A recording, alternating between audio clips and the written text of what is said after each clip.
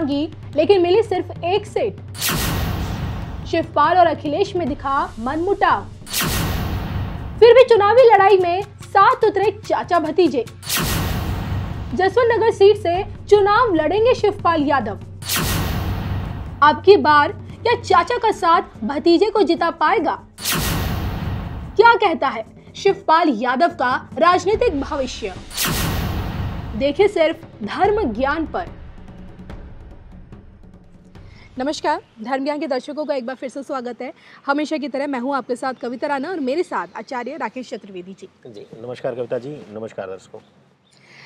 चाचा भतीजे की जो राहें अब तक अलग अलग हो चुकी थी लेकिन इस बार वो राहें एक हो गई हैं और वो इसलिए 2022 का यूपी चुनाव जो जीतना है और योगी को जो हराना है।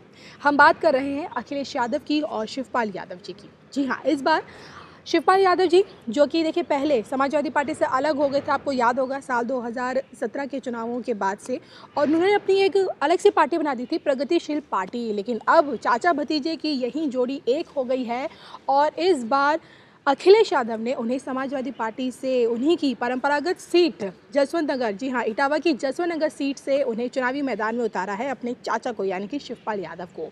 और क्या वो, जो कि वो इस सीट से एक लंबे दौर से जीतते हुए आ रहे हैं लेकिन इस बार क्या वो जीत पाएँगे? समाजवादी पार्टी का परचम जीत का परचम क्या वहाँ लहरा पाएँगे? उनका राजनीतिक भविष्य क्या कहता है? उनके पीछे की ग्रह दशाएँ क्या कुछ कहती है? तमाम सवालों पर आज हम बात करेंगे जानेंगे उनके जवाब हम चतुर्वेदी जी से। तो सर सबसे पहले मैं जानना चाहूँगी शिवपाल यादव समाजवादी पार्टी कुनबे से आते हैं परिवार के सदस्य हैं और सबसे बड़ी बात है जो उनकी सीट है इटावा की जसवंत नगर सीट वहाँ से वो पाँच बार विधायक रह चुके हैं। मुलायम सिंह यादव यहाँ से सात बार विधायक रह चुके हैं और छठी बार होगा जो वो जीत और हार का जो भी वो तय करेंगे लेकिन क्या कहता हूँ राजनीतिक भविष्य क्या कुछ कहता है? देखिए सबसे पहले प्रकाश डालते हैं हम उनके कुंडली पर। हम्म।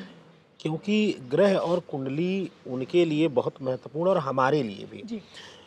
शिवपाल यादव की कुंडली जो है वह मिथुन लग्न की कुंडली आती है और लग्न में ही गुरु और केतु की युति आती है एक एक करके हम बढ़ेंगे और अपने आप कुंडली ही उनके राजनीतिक भविष्य को भी दर्शाने लगेगी और हम्म। आपके सवालों का जवाब भी आपको मिलता रहेगा जी।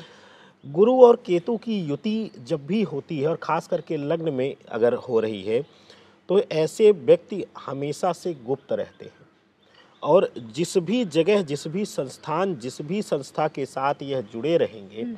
चाहे वह पार्टी हो चाहे कोई कंपनी हो ऑर्गेनाइजेशन हो परिवार हो वहाँ ये अंदर ही अंदर अपने आप में एक गुप्त शक्ति को विकसित करने में लग जाते हैं या कह लें कि ऐसे व्यक्ति जो है ये एक अलग प्रवृत्ति के इंसान होते हैं और गुप्त रूप से शक्तियों का भंडारण या संचरण करते हैं हम्म।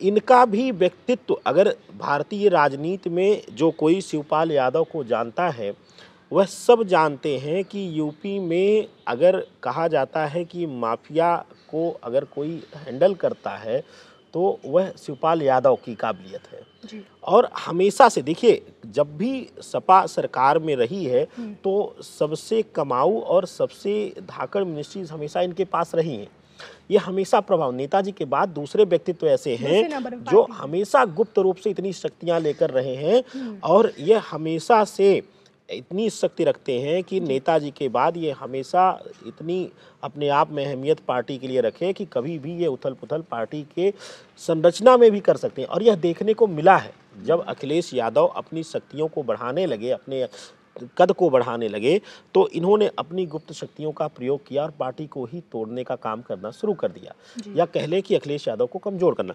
तो लग्न से सिद्ध हो गया कि ये हमेशा से कुछ न कुछ गुप्त शक्तियों का पालन संचारण करते हैं यह उसके साथ बढ़ते दूसरी चीज़ इनकी कुंडली में दसम भाव जो कि मीन राशि का है और इसके स्वामी गुरु हैं लेकिन वहाँ पर सूर्य बुद्ध एक साथ बैठा हुआ है। ये अति के व्यापारी हैं। हम्म। हर चीज़ में यह लाभ हानि देखते हैं। यह चुनाव लड़ना ना लड़ना ये तो अलग बात है। पार्टी रहना ना रहना परिवार के साथ अपना नाम जोड़ना ना जोड़ना वहाँ पर भी यह हानि लाभ दोनों देखते हैं। इस तरीके का व्यक्तित्व तो इनका है। अब उसके बाद आता है सप्तम में राहु और द्वादश का मंगल। द्वादश के मंगल के साथ हमेशा आपको हमने कहा है कि केतु और मंगल जब रहता है केतु धर्म के नाम पर एकदम से आपको कट्टर करता है। मंगल हमेशा से आपको गुप्त शक्तियों का और कह लें कि जैसा कि हमने राजा भैया की कुंडली में कहा था कि वह एक रूप से शक्ति संरचना करता है क्योंकि मंगल जो है वो सेनापति के रूप में है हम्म।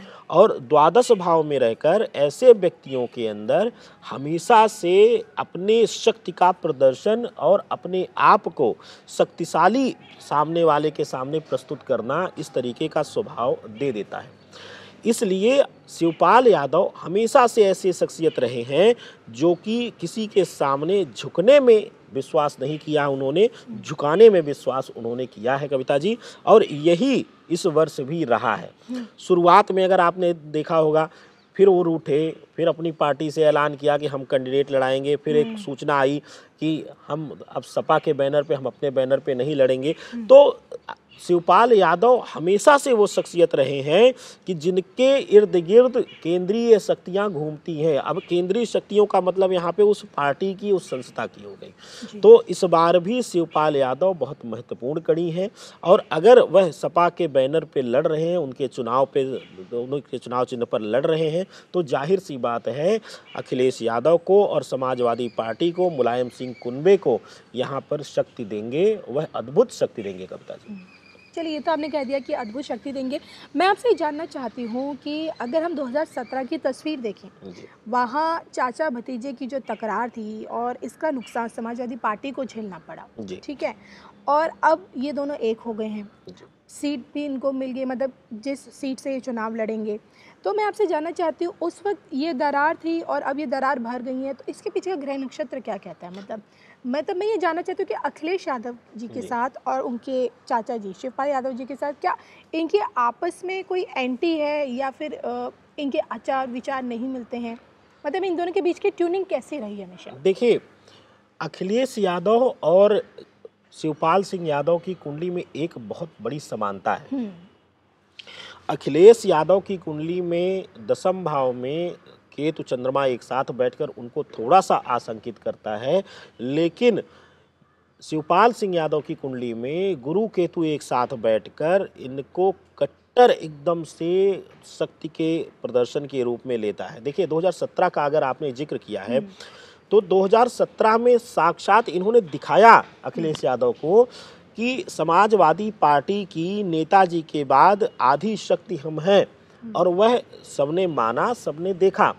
और यह अगर 2022 की हम बात करें तो इस बार भी उन्होंने पूर्ण भूमिका ऐसी बनाई कि पार्टी और संस्था के लोगों ने उन्हें मनाया या कह ले, जो भी अंदरूनी चीज़ें चली हों, लेकिन कुंडली से जो मैं बता रहा हूँ, वह यही है कि यहाँ पर शिवपाल यादव की जीत हुई है और शिवपाल यादव ने शीर्ष नेतृत्व को, जो पार्टी का शीर्ष नेतृत्व है, उसको कहीं ना कहीं झुकाकर अपनी मनपसंद सीट और अपनी मनपसंद जगह पाने में एक बार फिर से वह कामयाब हुए हैं और आपने पूछा कि दोनों के ग्रहों में देखिए दोनों के ग्रहों में विभिन्नता इसलिए आ जाती है कि हम्म। दोनों शक्ति अर्जित करने दोनों के अंदर शीर्ष पर बैठने की चाह है तो जब भी इस तरीके के दो व्यक्तित्व एक परिवार में एक कुटुंब में जब आएँगे कुंडली से हम्म। तो वहाँ टकराव होगा यह चीज़ें कविता जी हमने सामान्य पारिवारिक जीवन में भी देखा है आपने लंबे परिवार में अपने आसपास ही देखा होगा कि जब दो व्यक्ति ऐसे होते हैं घर के मालिकाना हक के लिए लड़ाई करते हैं हम्म। तो वहाँ पर जीत एक ही की होती है जिसके ग्रह मज़बूत रहेंगे उसके हाथ में चाबी आएगी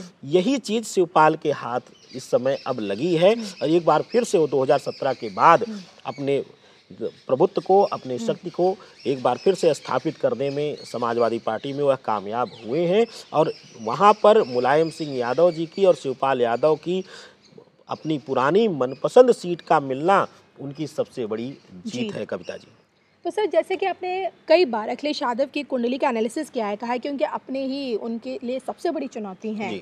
और उदाहरण के तौर पे हम अपर्णा यादव को देख सकते हैं लेकिन मैं आपसे जानना चाहती हूँ शिवपाल यादव का समाजवादी पार्टी में वापसी और उनकी चुनिंदा सीट उनको मिलना अखिलेश यादव को मुख्यमंत्री तक पहुँचाने के लिए शिवपाल यादव की क्या अहम भूमिका आप इसमें बता सकते हैं देखिए कविता जी हमारी जो भविष्यवाणी रही है हम्म। इस बार कुछ ग्रहीय संयोग के बस बहुत हद तक करीब आते आते सत्ता के अखिलेश यादव चूकेंगे लेकिन आपने जो प्रश्न किया वह पूर्ण रूप से सार्थक है और शिवपाल यादव का अखिलेश यादव या समाजवादी पार्टी के साथ यहाँ हम अखिलेश यादव के साथ नहीं कहेंगे हम्म। हम समाजवादी पार्टी के साथ इसलिए कहेंगे क्योंकि पार्टी ने उन्हें मनाया पार्टी की विचारधारा से वो आए हैं हम्म।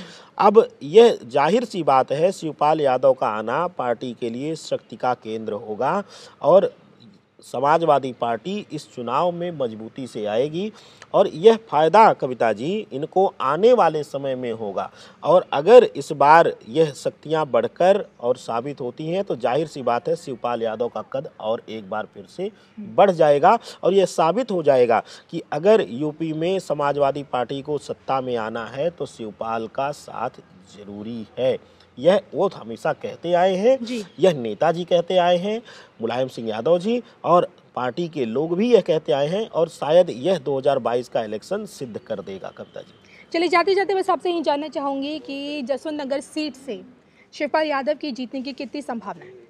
देखिए जसवंत नगर सीट से और ग्रहीय दृष्टिकोण से कविता जी हम्म। और जो तिथि है रिज़ल्ट की उस तिथि के ग्रहीय संतुलन को देखते हुए हम कहते हैं कि इनके जीत की संभावना 90 प्रतिशत बनती है हम्म। और 90 प्रतिशत यह जीत हासिल करते हुए हमें दिखाई दे रहे हैं चलिए तो राकेश चतुर्वेदी जी ने तो भविष्यवाणी कर दी है शिवपाल यादव जी के जीतने की, और क्या वो इस बार इस सीट से फिर से समाजवादी का, समाजवादी पार्टी की जीत का परचम लहरा पाते हैं या नहीं, कामयाब हो पाएँगे या नहीं, ये तो देखिए अब रिज़ल्ट ही बता पाएँगे। और इसी के साथ मुझे और चतुर्वेदी जी को दीजिए इजाज़त। नमस्कार। नमस्कार।